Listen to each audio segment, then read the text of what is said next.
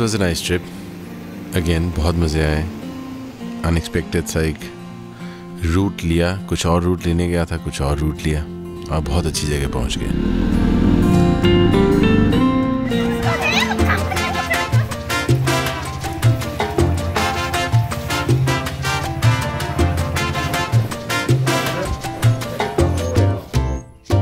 खाना पाए नहीं এনেই ঘূৰি ফুৰিছোঁ কেনেকৈ গম পালে হেলমেট পিন্ধি আছোঁ আচ্ছা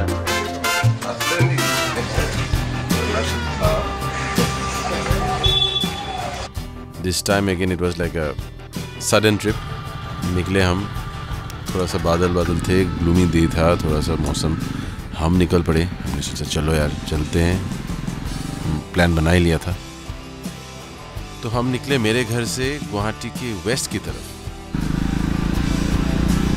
It's a busy Tuesday morning. We've left little. लेकिन बारिश भी आज होने के फुल चांसेस हैं क्या पता तो आज जो है blue skies and colours will be missing आज थोड़ा सा ग्लूमी सा होगा मौसम। लेकिन हम, हमारे मन से हम काफ़ी ब्राइट हैं। मौसम ग्लूमी हुआ तो क्या हुआ? तो निकल पड़े हम ये हाईवे से बाहर होते हुए गुवाहाटी के वेस्ट की तरफ़। तो अगर आप जो बाइट्स में हेलमेट से दे रहा हूँ हेलमेट के अंदर से आपको समझ में आएगा जो बाइक से बातें कर रहा हूँ आपके साथ, वो आज मैंने एक न्यू माइक यूज़ किया है। बताइएगा कमेंट्स में कि वो माइक अच्छा लग रहा है कि क्या? मुझे आई थिंक अच्छा लग रहा है।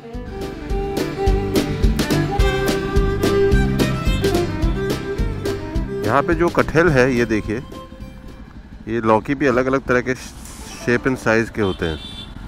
तो यहाँ जो यहाँ जो कटहल है, वो यहाँ पे पक्का फ्रूट की तरह काफ़ी खाया जाता है। मैंने देखा कि बाकी नॉर्दर्न इंडिया में या बाकी रेस्ट ऑफ़ इंडिया में सब्ज़ी की तरह ज़्यादा खाया जाता है। तो यहाँ पे ये है कि you have it like a fruit कुछ दस साल पहले यहाँ कुछ खास नहीं था, कोई छोटी सी एक सड़क थी और अब तो काफ़ी लोग बस गए हैं। This is the big water body called Dipor Bead.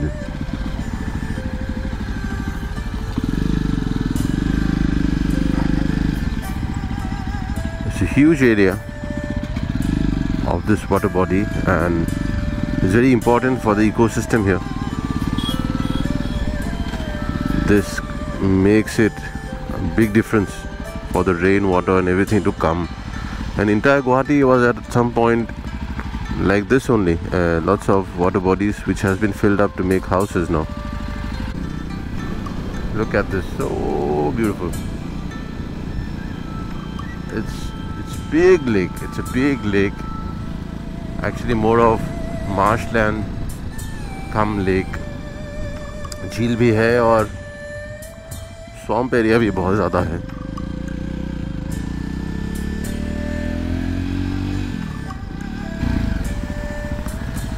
और लकीली ट्रेन चला गया है। नहीं तो यहाँ कभी काफ़ी रुकना पड़ता है रेल गेट पे।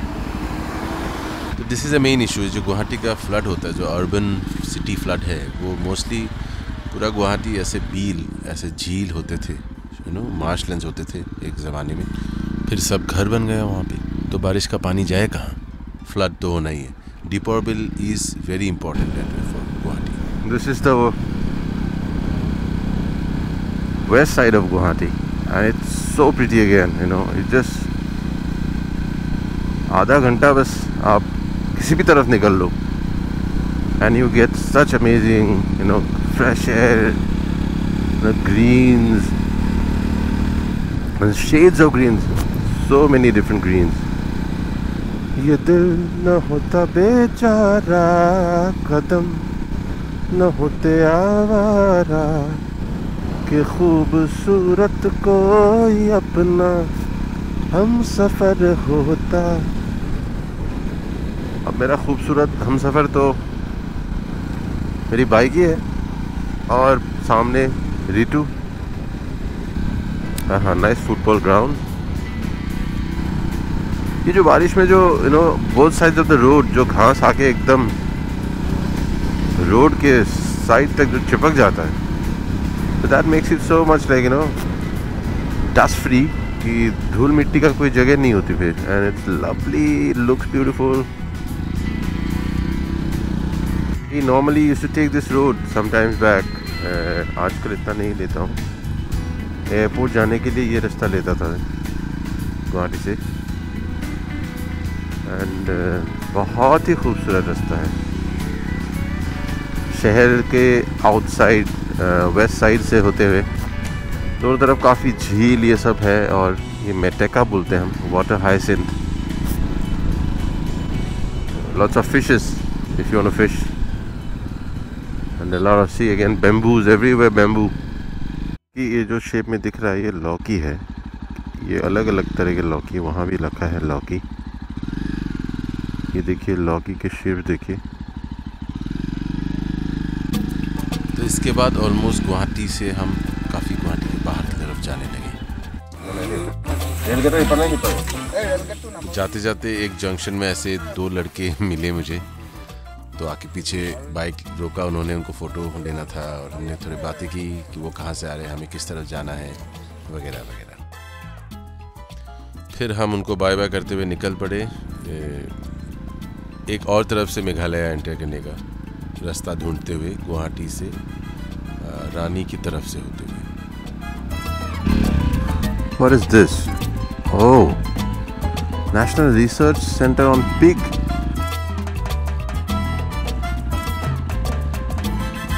National Research Center on Pig Council. तो ऐसे बड़ी इंटरेस्टिंग चीज़ें रास्ते में मिल जाती है रुक जाते हैं कभी कभी जैसे मैंने अभी बोला मतलब बाइक चलाते हुए बोल रहा हूँ मैं आपने सुना होगा तो ये देखिए बड़ा ही इंटरेस्टिंग चीज़ है तो फिर बस वहाँ उससे फिर हमने एक पेट्रोल पंप पहुँचे हमें पेट्रोल भरना था तो वहाँ जाके रुके। और फिर मोहब्बत प्यार का आदान प्रदान वहाँ भी हुआ। लोगों ने कुछ कुछ फ़ोटो वोटो ली फिर फिर निकल पड़े जी टूर में। इस बार not to stop Green forest. वाह। क्या बात है। कितनी तरह के पेड़ पौधे हैं it's like quite diverse this forest is बहुत अच्छा टीक फॉरेस्ट है। ये टीक फॉरेस्ट और ये जो सोशल फॉरेस्ट जिन्हें प्लान किया हुआ है बहुत साल पहले मेरे पिताजी अक्सर बोलते रहते थे हम जब ट्रैवल करते थे। लोग धान तो लगा रहे हैं अभी भी। अलग अलग टाइम में अलग अलग धान लगाते हैं लोग आसाम में। क्योंकि so many types of rice are, you know, available here because it's a rice staple food of the northeast. तो काफ़ी राइस कंजम्पशन है। यहाँ गेहूँ कम है। You won't find so much wheat here ये देखिए पेट्रोल का बॉटल में पेट्रोल भर के बेचते यहाँ पे। क्योंकि पेट्रोल पंप्स कम है। ये पोर्क बेच रहे हैं। वाह what a dense patch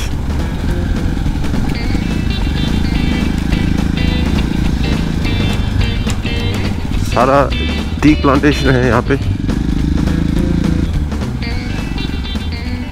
अच्छा यहाँ से मेघालय सीधा राइट को चांदुबी इधर को तो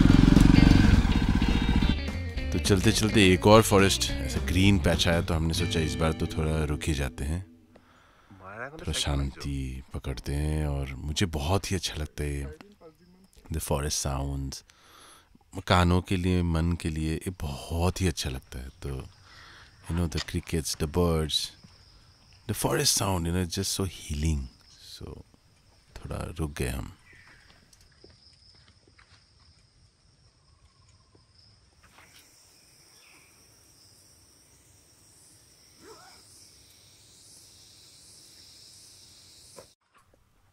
It like मैजिकल और फिर मैंने सोचा, थोड़ा पोज मारता हूँ फ़ोटोज़ लेते हैं। एंड वाला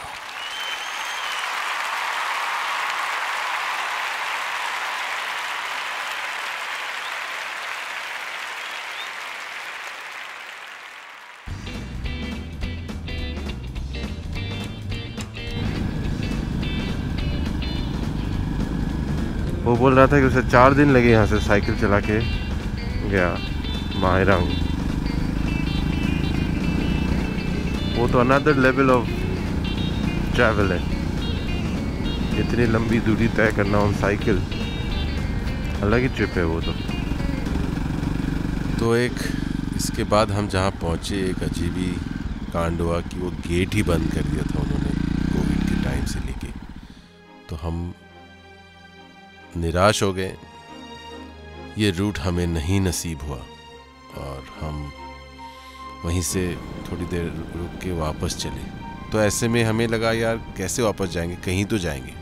देन हमने बीच में से एक और रास्ता निकाला कि कहीं भी चलते और यहाँ पहुँचे। इतना सुंदर हो गया और भी सुंदर हो गया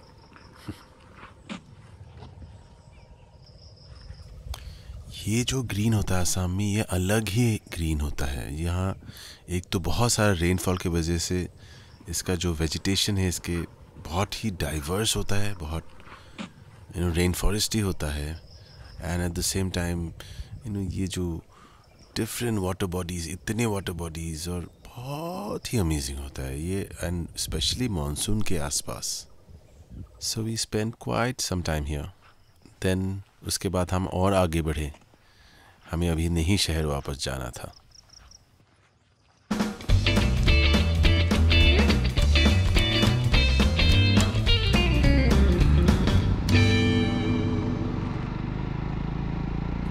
ये गुवाहाटी से ज़्यादा दूर नहीं, लेकिन फिर भी एक शहर से इतने पास होते हुए भी इतना शांत है। आपको बहुत देर तक कोई गाड़ी, कोई मोटरसाइकिल कुछ नहीं आता। और यू नो रास्ते ऐसे धीरे धीरे थोड़ा अब ख़राब की तरफ़ जा रहा था। हमें भी पता नहीं था कि आगे कैसे होने वाला है।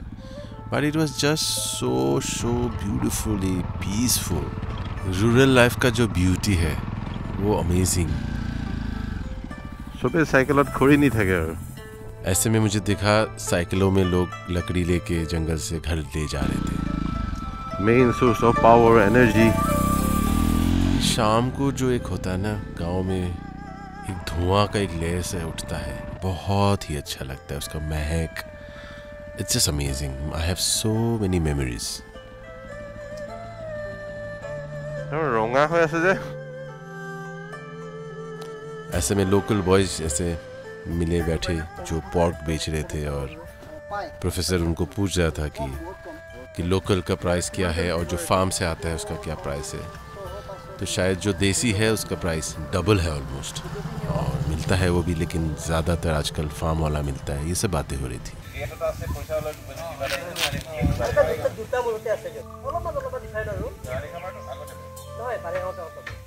तो मैं उनसे पूछ रहा था कि आगे एक मैं एक्चुअली आज लुकिंग फॉर वाटरफॉल में जहाँ पहले आ चुका था। लेकिन इस तरफ़ से नहीं आया था तो वो सब बातें हो रही थी।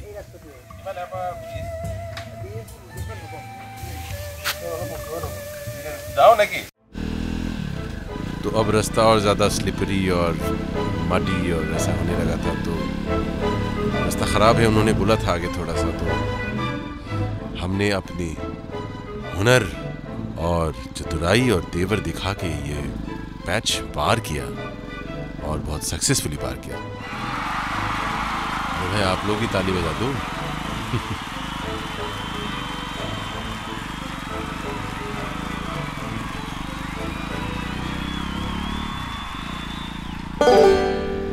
raw places like this. बिल्कुल ही वर्जन बिल्कुल ही मतलब प्योर नेचर है। सो अमेजिंग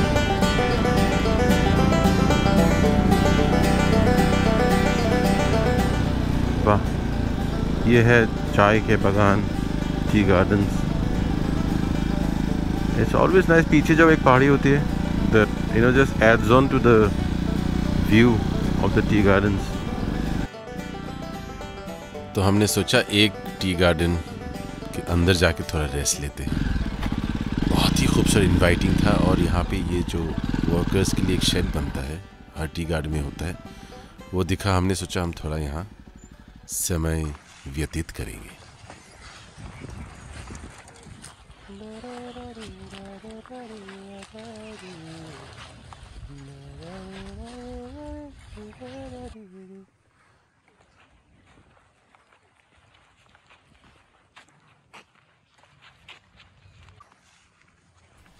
यहाँ से जाने का तो बिल्कुल मन नहीं था लेकिन जाना था क्योंकि हम जहाँ आगे जा रहे थे जो वाटरफॉल जिस तरफ़ जा रहे थे बहुत ही अमेजिंग है। तो उसको तो जाना ही जाना था हमें। तो हम निकल पड़े।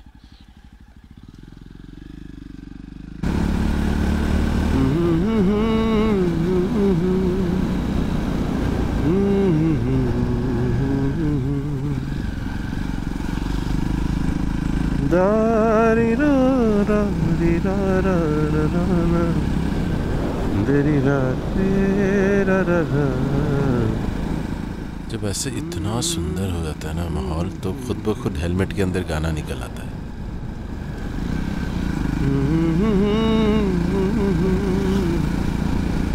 फिर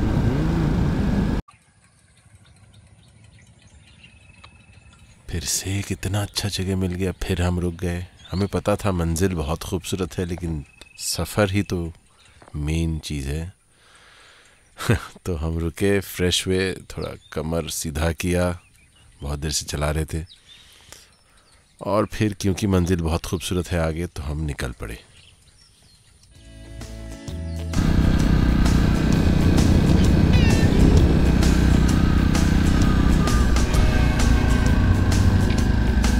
Maybe this is lunchtime or some kind of market. हाँ लंच टाइम लंच खा रहे हैं लोग टी गार्डन्स के ये हैं वर्कर्स जो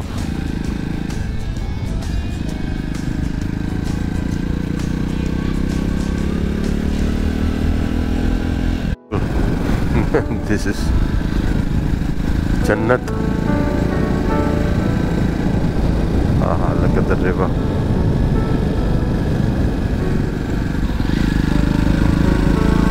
ये एक, हर जगह ऐसे एक हाट होता है। बाज़ार होता है, कोई पर्टिकुलर डे में लगता है। अमेजिंग फ्रेश स्टाफ ये हर जगह ऐसा एक फुटबॉल ग्राउंड होता है। वाओ क्या फॉरेस्ट है। अभी बस मंजिल, वो वाटरफॉल पहुँचने वाले हैं और कुछ इंटरेस्टिंग चीज़ें होने वाला है बट मैं भी एडिट कर करके थक गया हूँ, मुझे लगा आपको भी एक ब्रेक देते हैं। बाकी अगले एपिसोड में। चलिए